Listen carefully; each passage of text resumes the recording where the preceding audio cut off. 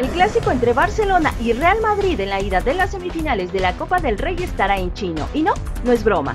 Y es que los jugadores comandados por Ernesto Valverde han decidido celebrar el Año Nuevo chino.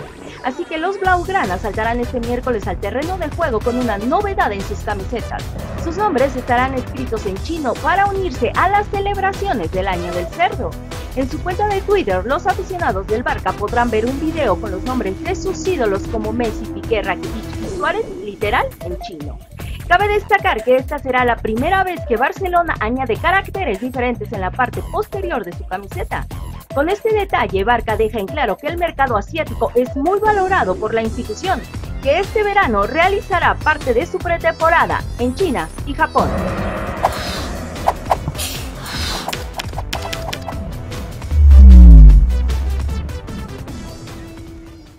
Que nos encontraste, no nos pierdas. Suscríbete a nuestro canal de YouTube de Telemundo Deportes.